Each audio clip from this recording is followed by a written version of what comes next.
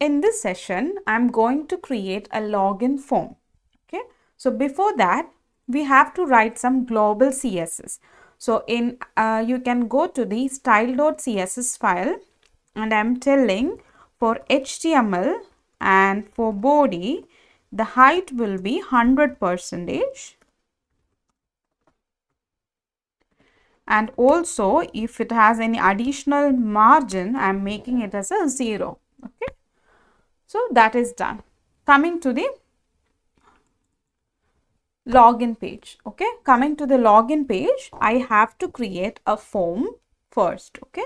So I'm creating a form. Then first you have to add the card component. So go to PrimeNG website. So we are using PrimeNG for everything. So it will be more easy. We don't have to create everything manually. So you can search for the card component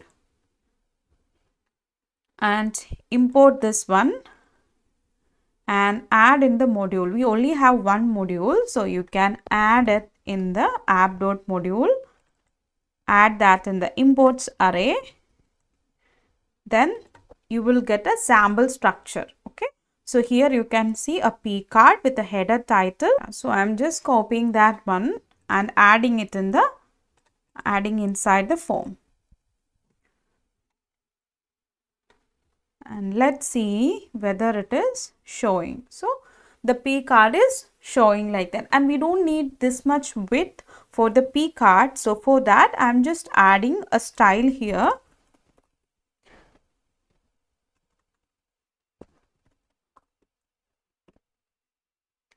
You can add a style class also that we will refactor later. Now I am just adding the width and I am telling it's a 360 px.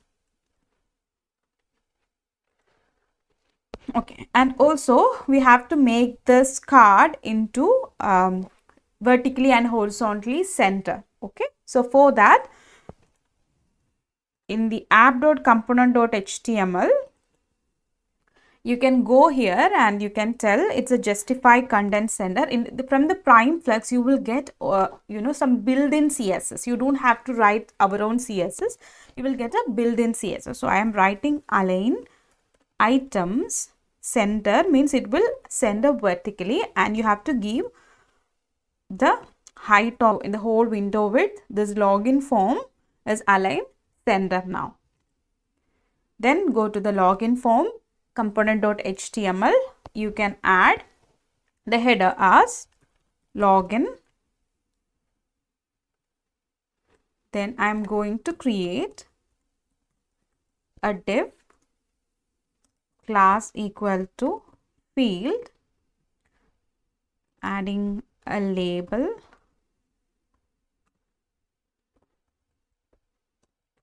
For equal to email I'm mentioning it's an email. The next thing we have to add an input element, for, right? For the input element, you have to import the input component from the PrimeNG. So go to the PrimeNG and search for input element. So input text component, you have to import input text module. So go to the app.module.ts file, add the input text module in the import section since input text module is a form element, you have to either use uh, ng model or form control name. That is either use the forms module or the reactive forms module. Here now I am going to implement the reactive forms module. So whenever you are using any form element, you have to import corresponding reactive forms module or the forms module from the Angular forms. Okay. So I'm using reactive forms module adding it here. Okay. Then go to the html file. You will have a sample you know input box which having a form control name. So here i am adding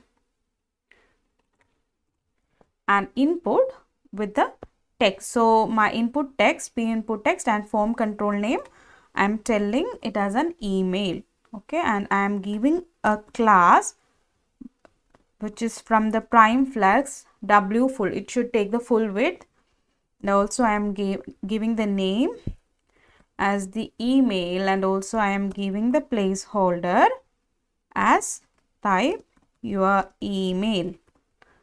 Okay. So once that is done, since we are defining the form control name, we have to add this variable in the TS file. Okay, go to TS file. So we are going to create a form using the form builder, Angular form builder. So I am giving a name as login form. I'm adding a constructor here which will inject the form builder. So FB and I am adding form builder here. Okay. And here I am going to create a login using the form builder. So this dot FB which is referred as a form builder here and FB dot group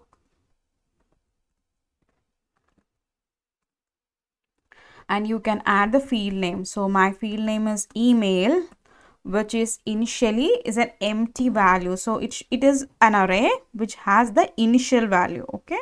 And I have to tell the validation also as a second array. If it is only one, you don't have to mention an, array.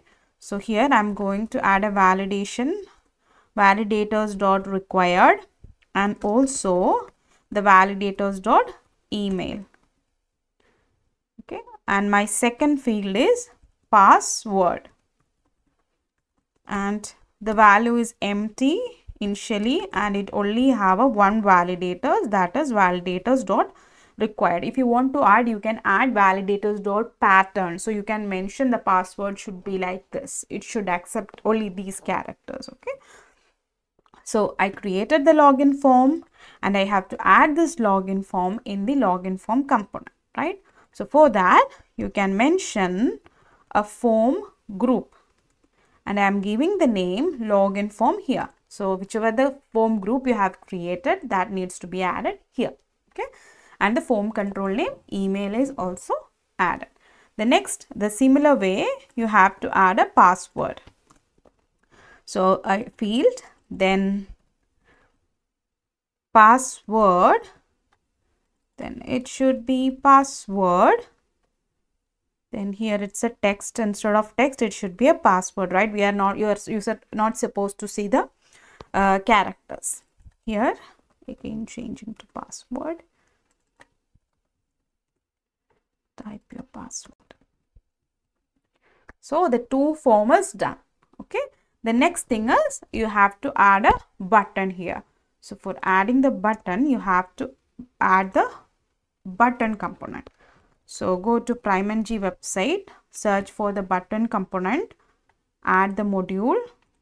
So for that, go to the app.module.ts file, add the module from here, add it in the imports array and here you can add the button. So for adding the button you can see there will be a sample with a P button. So I'm just adding a P button and I'm telling the label as sign in. I'm giving the style class as W full. So for input element we can mention the class and for the P button we have to mention the style class. Okay, it's based on the component you are using. Hmm? And also style class is added. Uh, the label is also added. So the button is ready. The next thing is you have to add if it is not a member you have to show a link to the register form okay? So i'm just giving a div and adding a class and telling margin top is 2 so it's a class from the prime flex. And I'm adding if it is not a member then question mark I'm telling an anchor tag. And in order to route to the in order to add the root you have to give instead of href you have to give the router link here so it will go to the routing we have created a routing.ts file right so it will go to that url so I'm giving register. So if user enters register. it should load to the register component. So if I'm adding a router link as register here, okay. So the form design of the login is done. Now you can see email, password, then not a member, register. So if I click on the register, it is going to the register form. So register works, okay. I'm going back and now we have to do the validation. Now email, if I type something, you know, you have to add the validation. Validation dot required is there. The validation is also there, but you have to add a validation message here. Okay. So for that, going here and we have to add a validation me message under this input, right? So I'm giving a small element and I'm saying ng if so from the login form, you have to take the control of the email. So either what you can do is, you can see login form dot controls of email dot is sorry dot invalid. Okay. Then you have to show some text something like that you can mention. Here you can add and and. Again you have to add you know these many things. And and then it is dirty or if you say touch the form. So login form dot touched. Then you have to mention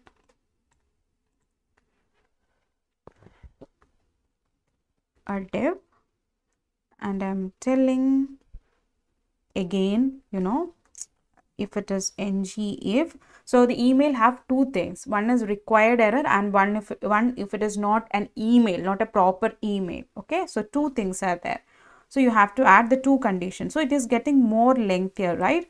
So if you want you can remove from here and in the component dot uh, ts file what you can do is you can create a function get email and it is just a function sorry and it returns this so it return this dot login form dot controls of email so to make you know html more uh, easier to read more readable the similar way, I'm just adding the password as well. It's not really required, but just for more readable purpose. No, this one you can replace with email. See?